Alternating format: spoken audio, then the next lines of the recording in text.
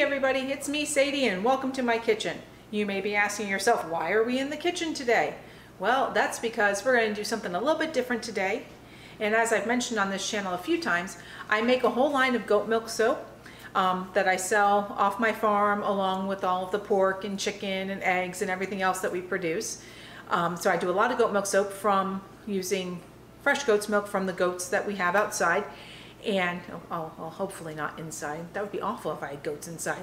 Ugh. Anyway, so I did this whole line of goat's milk soap and I decided that I wanted to make a couple of soap making videos to show you guys what I do.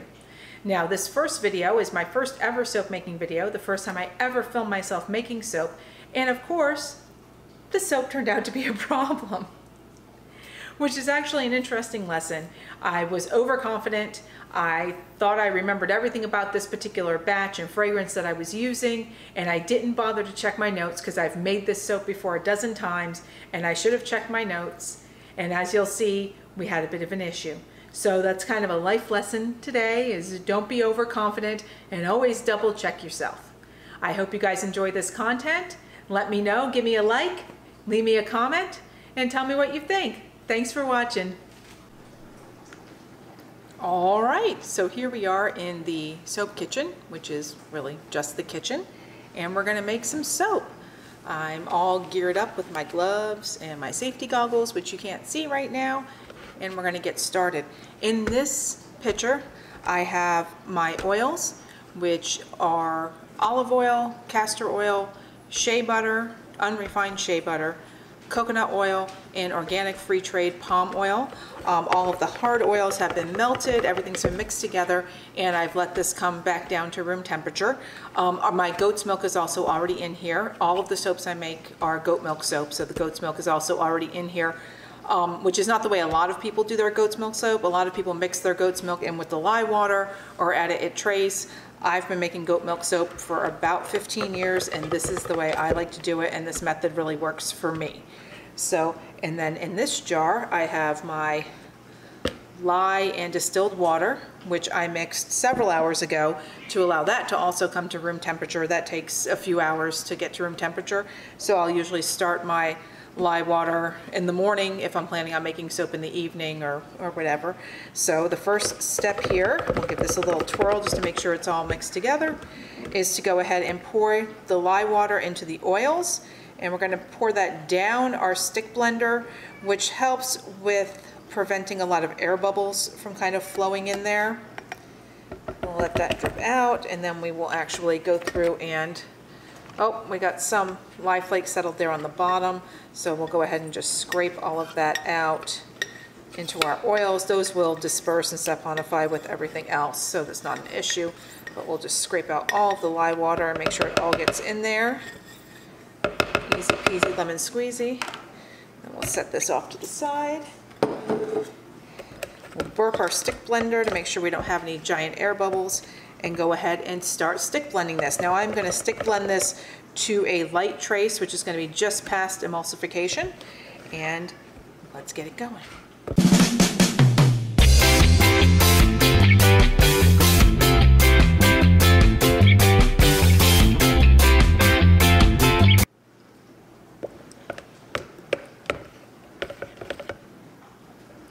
And that's about what I'm going for here. It's a really light trace.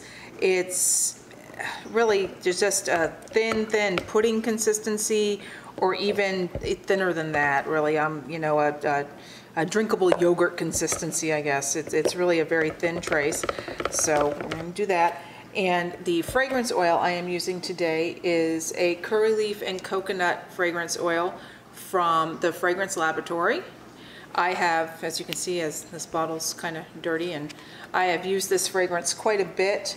This fragrance behaves well in my soap, so I am going to go ahead and just add the fragrance, the appropriate amount of fragrance oil in my little cute little beakery beaker here. I'm going to go ahead and just add that in to the soap at this point. And I'm just going to kind of stir this as opposed to stick blending it anymore because I don't want to over thicken my soap at all. So I'll just kind of stir this in gently and I rice a little bit so I am going to have to stick blend it to kind of get rid of that ricing.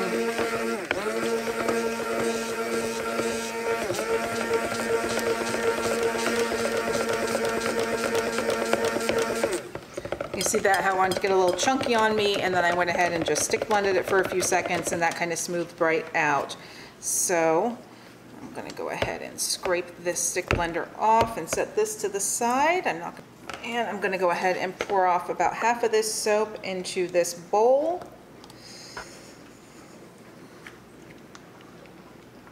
And another portion off into this other nice pitcher here. And into my original pitcher, I'm going to add some titanium dioxide dispersed in water to kind of make that nice and white.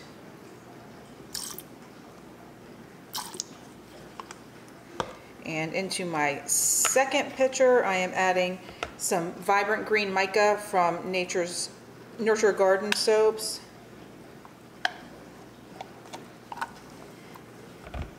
And into my final bowl, I am adding some neon green pigment, and I don't know where I got this from. I bought this on a um, fast buy or a co-op buy or something probably four or five years ago. I bought a lot of it, like six to eight ounces, and you really only need like a half a teaspoon per batch, so I've had it forever. I'm gonna go ahead and mix those colorants in, and this soap is thickening up on me a little bit faster than I anticipated. I've recently changed my recipe, so I may need to kind of review my notes on how all these different fragrance oils react in this new recipe. So, and as usual with soap, you always mix your colorants from lightest to darkest. So I'm gonna get in here with the green mica. And I am mixing this with a spatula just because it is starting to thicken up and I don't want to accelerate that any more than it already is. And that green mica turns like this pukey green color, that's fine. Um, with these vibrance micas, they'll kind of discolor, and then once the soap saponifies, they will actually turn back to their nice vibrant color again. And I, and I am using a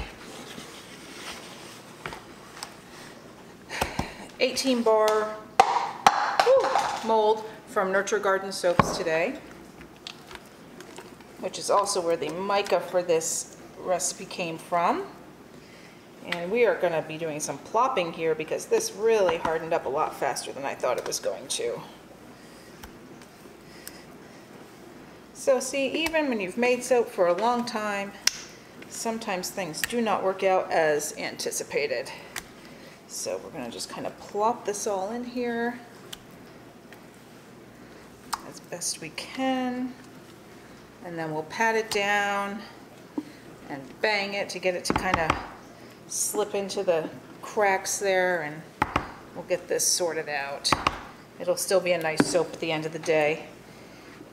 Even if it's not the prettiest soap I've ever made, it'll still be a nice soap at the end of the day.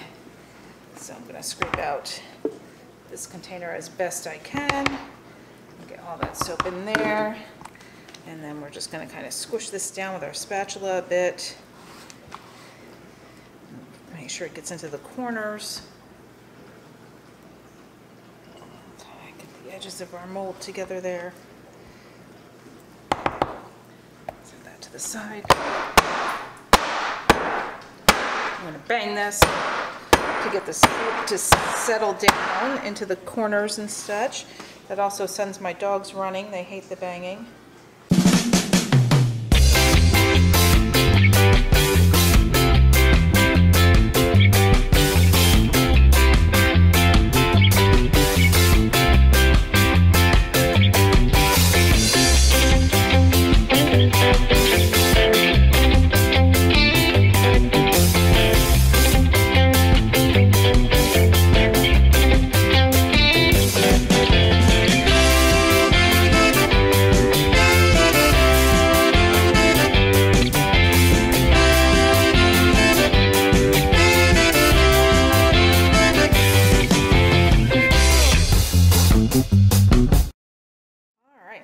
Clean this up a little bit and get that soap frosting started and I'll be back with you in just a minute. Okay, so we are back and we are ready to pipe the top of our soap. I have loaded my soap frosting into a piping bag with an open star tip here on the top and we're going to go ahead and start piping. And to be honest, I am fairly new to piping soap. I think this is probably my fifth or sixth loaf that I've actually put a pipe top on. So this is all kind of new and fun for me. Um, I actually got into piping soap when we moved here um, into the Carolinas from our previous home. It's kind of funny how different areas of the world, different um, people are into different things.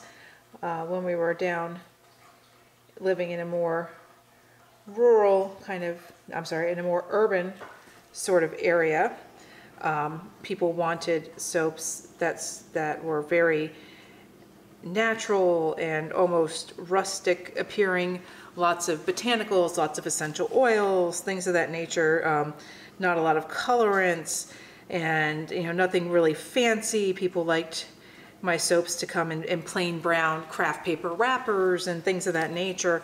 Um, and then when we moved up here, which interestingly is a more urban, and not, oh, see, I keep doing that. It's a more rural type environment. People, it seems that what moves for me here are fancy soaps, things with lots of glitter and sparkle and really, you know, fancy, strong smelling things, not necessarily like, you know, a lot of mint and stuff, but really things like this, like the, the coconut leaf, you know, curry leaf and coconut, or um, a lot of dupes from stores like, you know, stores that we're not going to say their name, you know, stores that rhyme with Kush, and stores that, you know, make you work for your bath. You know, it's, oh, and I've kind of gone off wonky on an angle here. Um, you know, they want those types of, of fragrances. So we've kind of, I've kind of changed things up here and started getting into more artistic and fancy kind of soaps and doing piping and things like that. And if you really want to see some incredible piping, you should check out the Royalty Soaps channel. Katie over there is just amazing with her piping. This is actually her piping set. She sells a piping set and this is actually her piping recipe. When you buy the set, you get access to the recipe, which to be 100% honest, is why I bought the set. I had fiddled with trying to create my own recipe. I had used other people's recipes that they had for free on the internet and I could never get one to work and I finally was like, you know what? She does such an incredible job. I'm going to go ahead and try it out and this recipe is fantastic and I need to load more frosting. I'll be right back. And so here we go. And so I know a lot of you are here primarily because you started on this channel with my reshaped balloon and my weight loss things and everything and just to kind of keep you updated on that. I'm squishing soap out onto my thumb, which is not something you should want to do. Just put that over there for now. Um, I still have my balloon in. I have about another six weeks left with that. It's going very well. I'm working my way towards 40 pounds down now, which I'm very happy about. I'm expecting to come in my thought is that I'm going to come in somewhere about 45 to 50 pounds when I get the balloon out is my thought, is what my loss is going to be. Um, as you can see, the texture of the soap has changed as I've been going. As it gets harder, I'm getting more stars that are a little bit more spread out, which is kind of fun. Okay, so I have the first layer on, and now I'm going to go back and just kind of try to fill in some of the gaps on here.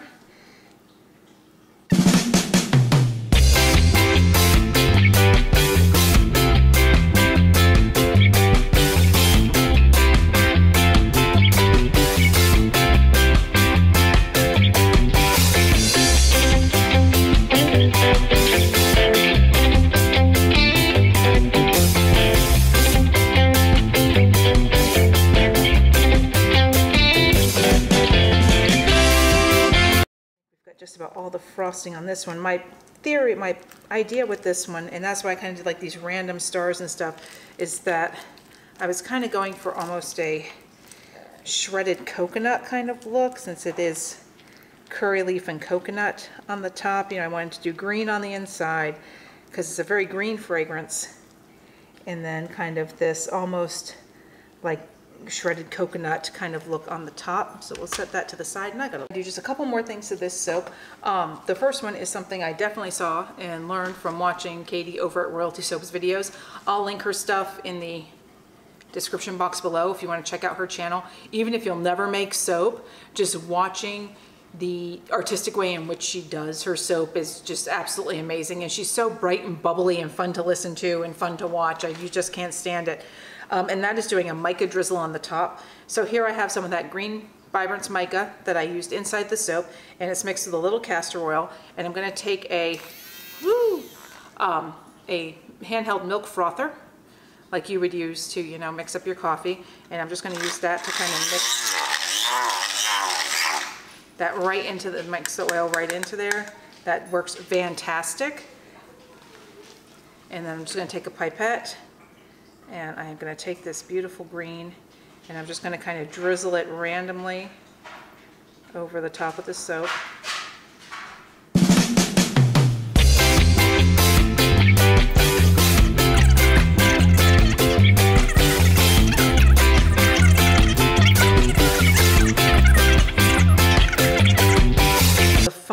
Couple of steps on this soap, on this coconut and curry leaf soap, since I've got the green drizzle on and I kind of let that sit for a second while I talk, is I am going to actually go through and sprinkle on some glitter.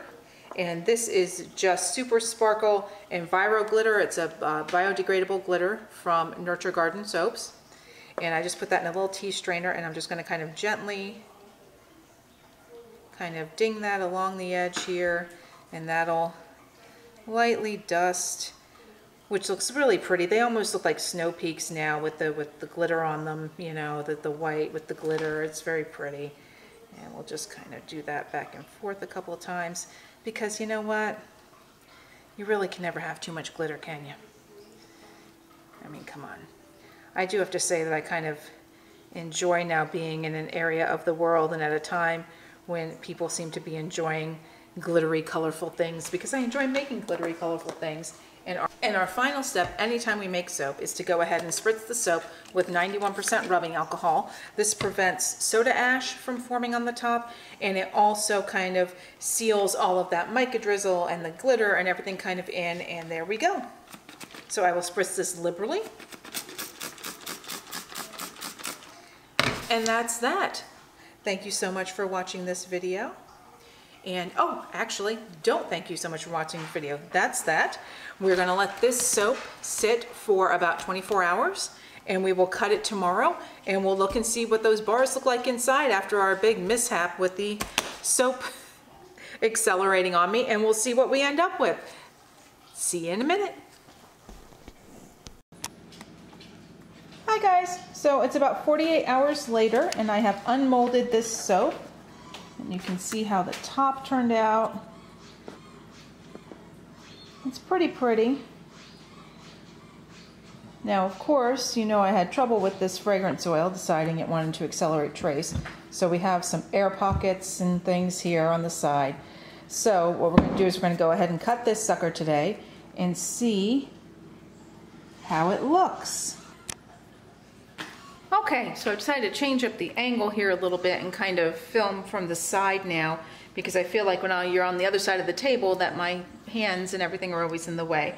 So let's go ahead and cut this soap. I'm going to get out my soap loaf cutter, which is from Woodskin, and you can order them on Etsy. There's a lot of companies that make very similar soap cutters, so this is not, I know, um, Buds is one that a lot of people use, the bud cutter. So it's just basically a single bar wire cutter. So we'll go ahead and crank that up and get our soap lined up and let's see what this looks like. Ooh, as I knock the camera over on the inside. I can tell you that it smells fantastic. The scent is very strong. And let's make that first cut and all the way through. Oh, and this is what we have on the inside. It actually came out in pretty nice layers, better than I was expecting.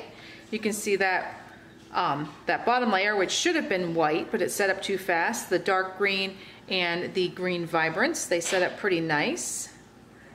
Let's cut some more bars and see what it looks like towards the middle. Now this loaf will give me 18 bars of soap.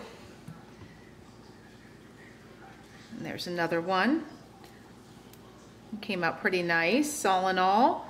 Tops look nice. Looks pretty good.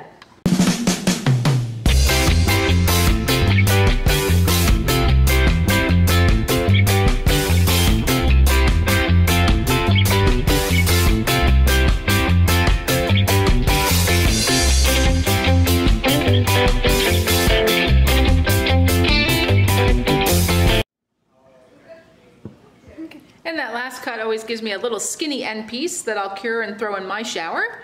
For as much trouble as this fragrance gave me, this turned out to be a fairly decent soap. It's not my most artistic or most beautiful or most perfect bar, but they smell great. They are my goat milk soap formula, so they'll be just a luxurious, wonderful soap to bathe with, and they look fairly decent. Thank you so much for watching this soap video. I hope you enjoy this kind of content on my channel. Certainly give me a like if you do. Subscribe if you want to see more soap making videos, more of my lifestyle videos, more of my burlesque videos, more of my weight loss journey videos. Go ahead and subscribe to this channel. I'm keeping this channel as kind of a hodgepodge at this point.